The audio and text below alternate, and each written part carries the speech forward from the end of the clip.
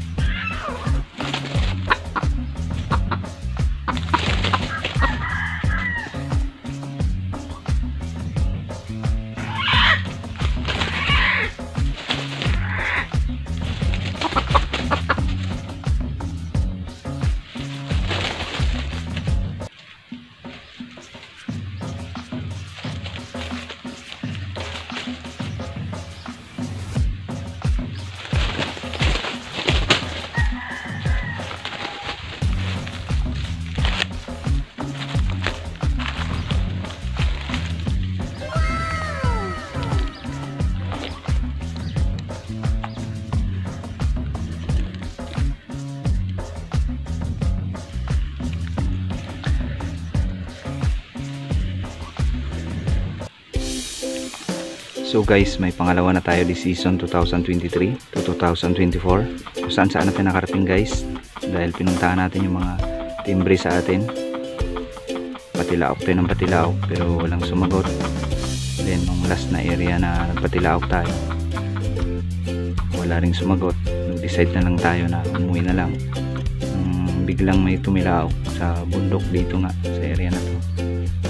Malapit dun sa dadaanan natin pa uwi. So, paalam tayo sa may bahay doon sa baba. So, nakipagkwentuhan ako ng saglit. So, hindi na umimik to kasi narinig niya kami sa baba na kukwentuhan. So, tinansya ko na lang kung saan siya banda huling tumilao. Tinanong ko rin doon sa may bahay kung saan talaga siya banda tumilao kanina. So, yun. Tinry ko na lang dito sa medyo tuktok ng konti.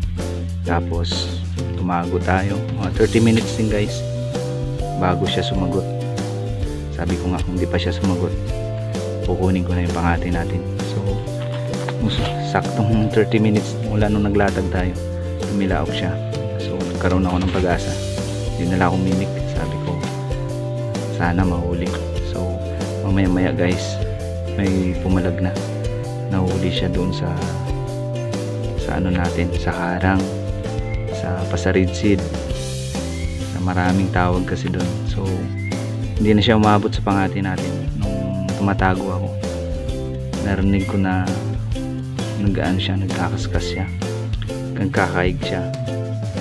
So sabi ko ano na to? Malapit na. So inintay ko lang. Nung nagkaluskos pag-asa na ako. Sabi ko nauli na. Nauli na yun hindi ako mimik mga within 5 minutes hindi na umulit. Sabi ko baka naliig. So nilabasan ko na lang so yun nga. Ma makaluskos pa lang yung lakad ko. Nung pumalag na sabi ko huli na. Hope na enjoy nyo guys yung bagong video natin. Maraming salamat sa patuloy na nag-aabang sa mga nag-subscribe nag-likes sa mga hindi nag-skip ng ads. Maraming salamat sa panonood at suporta. Siya nga pala guys yung pangati natin first time natin ginamit yan. Bigay lang sa atin yan. Abangan nyo pa yung mga susunod na video natin